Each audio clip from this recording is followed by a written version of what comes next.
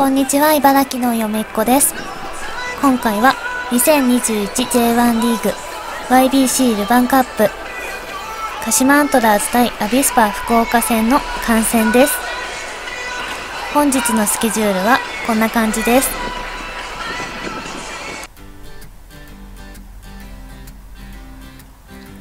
鹿島神宮近くの麺王さんでチャーハンをいただきました。必勝祈願に鹿島神宮へ来ました。今年7回目の参拝です。今日は風が強いです。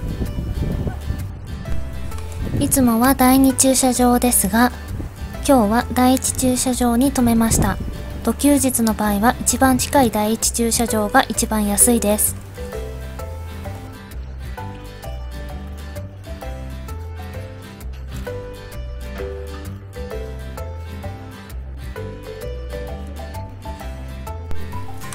では御朱印をいただきに行きます。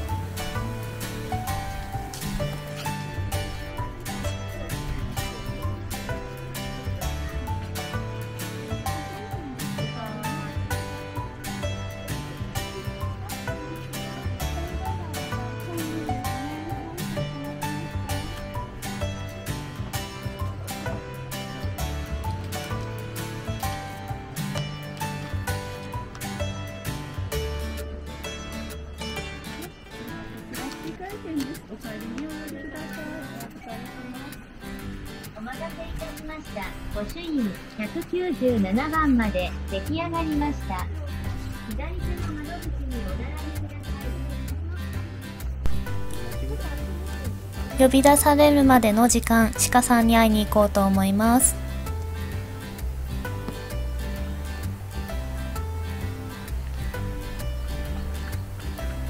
こちらの売店で鹿の餌が買えます。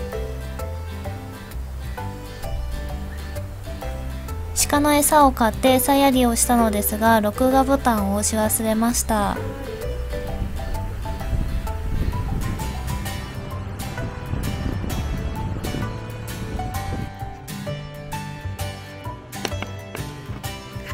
御朱印を受け取りに来ました。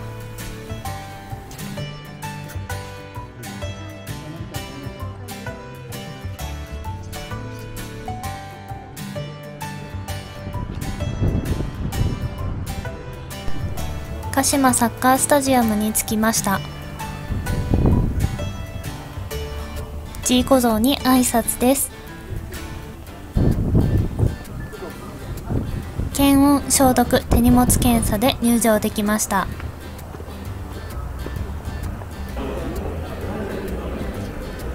やはりゴールデンウィークなのでお客さんが多いです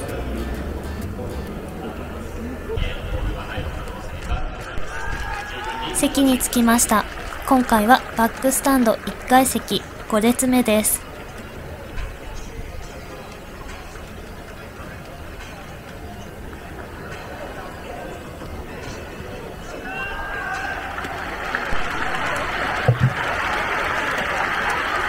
福岡の選手は相手のゴール裏にも挨拶をしていました。いいチームですね。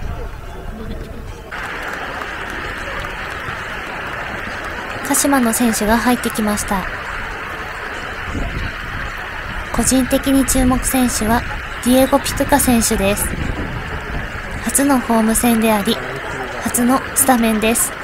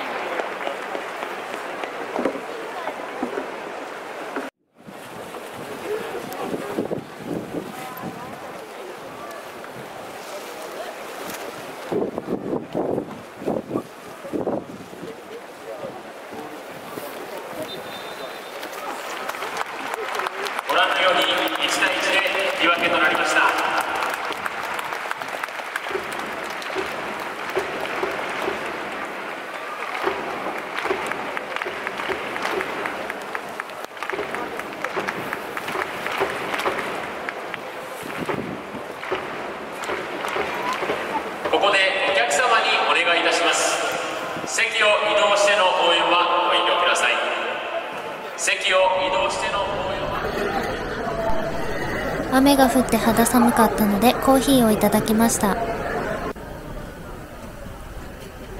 ミルクと豆乳が切れてしまったとのことでドリップコーヒーを注文しましたあ、ありがとうございます。あ、ありがとうございます。500円お預かりさせていただきまして。